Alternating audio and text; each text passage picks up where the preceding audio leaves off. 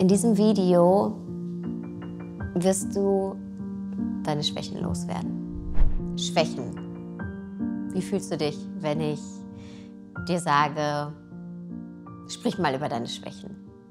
Da kommt bei uns direkt so, so eine innere Mauer und wir machen zu, weil wir Schwächen, ähnlich wie Fehler, als etwas Negatives werten. Dabei sind Schwächen durchaus positiv und geben uns den Raum für Transformation.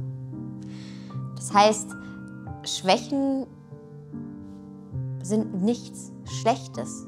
Wir selber machen sie durch unsere Beurteilung zu etwas Schlechtem, zu etwas Negativem, zu etwas, für das wir uns schämen, ähm, etwas, von dem wir denken, es ist ein Defizit, ein Mangel. Ist es aber nicht. Und es gibt eine sehr alte japanische Tradition, mithilfe derer wird Keramik kunstvoll repariert. Ähm, wenn Teeschalen zum Beispiel kaputt gegangen sind und durch die Teekultur in Japan ähm, haben Teeschalen oft einen sehr hohen Wert. Äh, und wenn da eine Teeschale aus Keramik kaputt geht, ist es so, dass sie nicht weggeschmissen wird, sondern dass sie gekittet wird sozusagen oder geleimt wird, aber mit flüssigem Gold, sodass man eben diesen Bruch auch sieht, weil man sagt, ein Bruch ist kein Makel, ist nichts, was wir wettmachen wollen oder wegmachen wollen oder ähm, unsichtbar machen wollen, sondern ein Bruch ist etwas, ähm, das davon zeugt, dass die Teeschale eine Historie hat. Etwas, was wir nicht kaschieren, sondern hervorheben. Und diese Tradition spiegelt eben auch, dass nicht das Makellose schön ist. Das wird uns ja oft ähm, ja, suggeriert.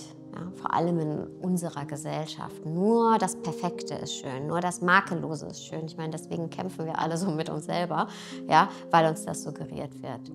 Aber das Makellose ist oft dann eben eindimensional, hat keine Geschichte, ist halt makellos, halt perfekt.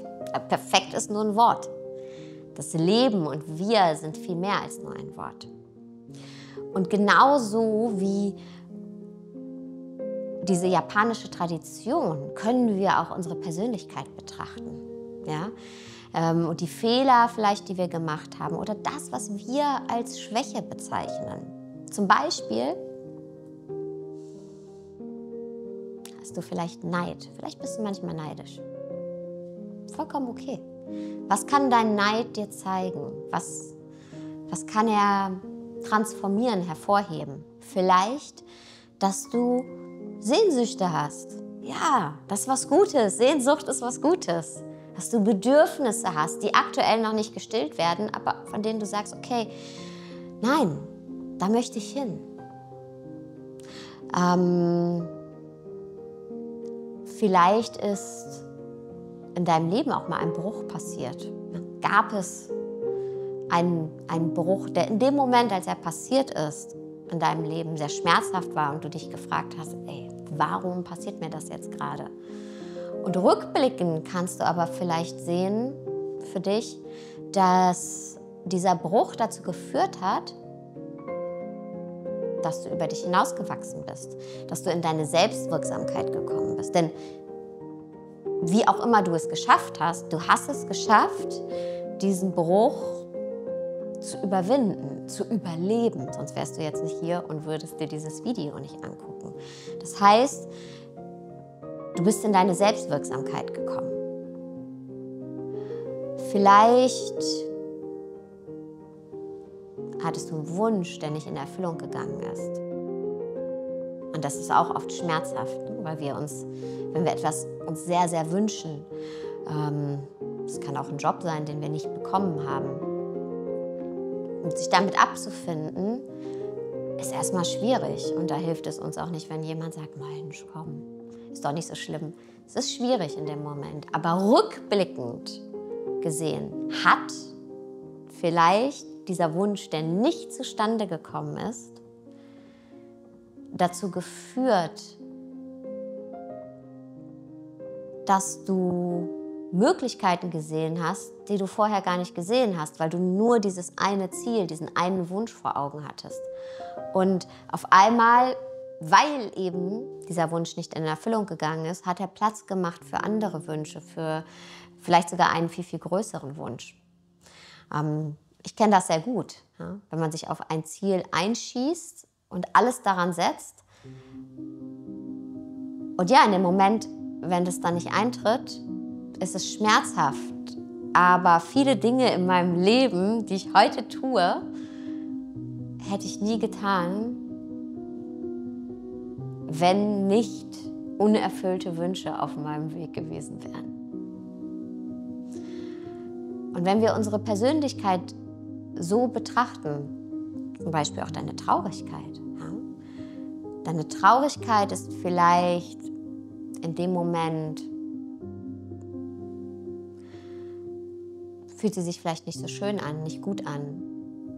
Aber Traurigkeit heißt auch, dass wir etwas betrauern, dass wir Dinge in unserem Leben haben, die wir betrauern um die es wert ist zu trauern. Erfahrungen, die wir gemacht haben, die wertvoll waren.